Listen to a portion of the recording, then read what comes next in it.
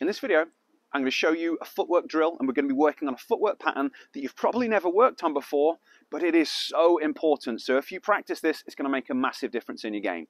I hope you enjoy the video. Hope you find it helpful. If you do, be awesome if you give me a thumbs up. And if you haven't already done so, I'd really appreciate it if you could subscribe to my channel as well.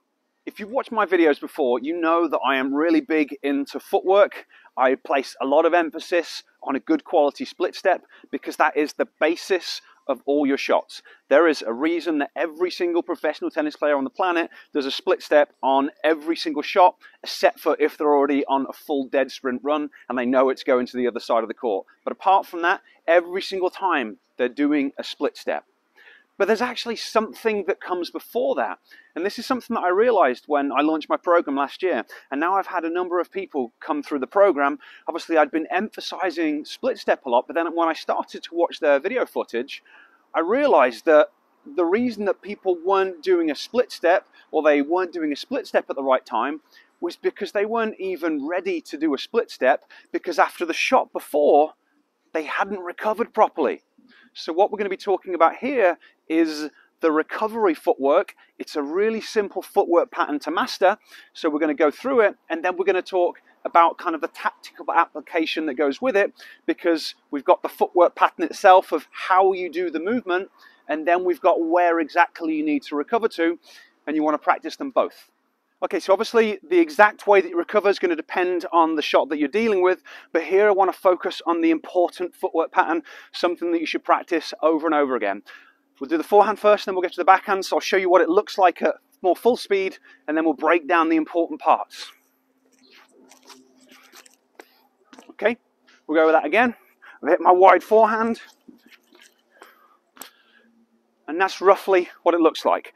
We're doing a crossover step and then maybe one or two shuffle steps depending where we need to get to. As you can see, with not many steps, I got from hitting a ball being outside the tram line to recovering all the way to the middle of the court if I even need to get that go that far because as we'll see in a moment I might not even need to go that far but let's break down that crossover step and talk about the important parts of it Okay, so the key to making a really good recovery step is the way that you land and the way that you load so you can push off. So what I was doing there, there are three things that are going to be important about this movement. Number one is you've got to lower your center of gravity. So you've got to get from up high to down low. Number two is you've got to have a wide base of support. So my feet have got to be far away from each other. And really that happens at the same time that you're going to lower your center of gravity. And then part three is this shin needs to be at a decent angle. So by decent angle, I mean this shin is pointing in that direction so it can push me back off over this way. So this is something that you'll need to practice as you hit your forehand. Practice lowering your center of gravity, widening your base and landing with your shin at an optimum angle. So there's obviously a few different variations of the way that you could hit your forehand, and this is something you'll need to practice, but I can do a mogul step, so I my hips come round, I land there, and then push back. So you just literally rep it out. Just practice hitting shadow forehands, landing, and pushing off. So as I hit my shadow forehand, I'm lowering my center of gravity, widening my base, getting my shin angle so I can push back. Variation two is going to be more of a running step. So I'm driving this time off my outside leg, making contact, and then it's the same. I still lower my center of gravity, widen my base, and get the shin angle. So I hit my running step, pivot, down, and accelerate back. Running step. Now obviously, your strength and your flexibility are going to be an important feature here. If you're not flexible enough or strong enough to get into these positions, it won't work. And that's why it's important for you to spend a little bit of time off the court, making sure that your body functions properly. But this is the important part of the footwork pattern. So we're low, we're wide, we've got the right angle of our shin. You then drive back and go into your crossover steps. So we're there, crossover, and then into a shuffle step. Moving over to the backhand side, the key points are going to be identical as on the forehand, but obviously now we're loading off the left leg as the outside leg rather than the right leg. So if we start with the open stance, the key points are going to be the same. And this is going to be whether I'm doing a double or whether I'm hitting a single hander from an open stance. I've still got to lower my center of gravity, I've got to widen my base, and I've got to get the shin angle so that I can push back and do the crossover step. So for both of your open stances, it will be the same, lower, wider, and drive across. Often though, on the backhand side, you're going to be hitting from a closed stance and doing the pivot step, kind of like we did with the running step on the other side. But now here the flexibility requirements increase slightly. So as a single hander, you hit through, you have to come wide and low, so then you can push off in the other direction. So it's something that you're definitely going to want to have uh, to practice a lot before it's going to stick in point play and matches. But the key points exactly the same.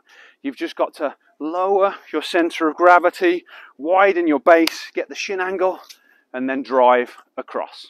Okay, so now you understand what the footwork pattern looks like, you can go away and you can start to practice it. But what I want to do is just quickly talk about where you recover to, because where you recover to is going to depend on the type of shot you hit. We've just worked on the efficiency of how we can cover as much ground as possible, but you might not always want to cover as much ground as possible. So I'm not going to be hitting and then trying to recover into the center of the court.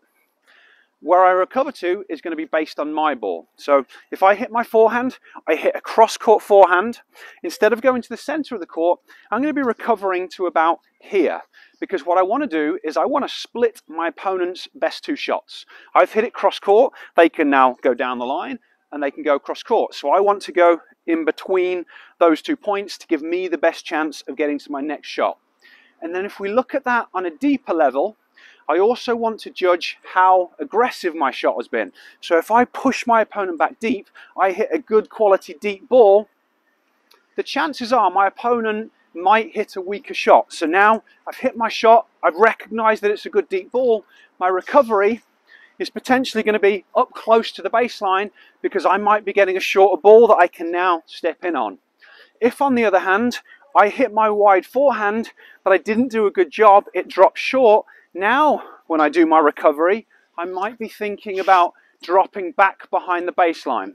So I'm still, you know, biasing it towards this area here, but instead of being close, because I'm anticipating an easier shot, I've dropped back deeper because potentially they're going to find it a little bit easier to attack and I might need to have to cover that one down the line. So in addition to practicing the actual footwork patterns, you also want to start to think about where you recover to, and then you want to work on the aggressiveness of it. After you hit your shot, expend energy, really focus on doing the best you can to recover into the right position.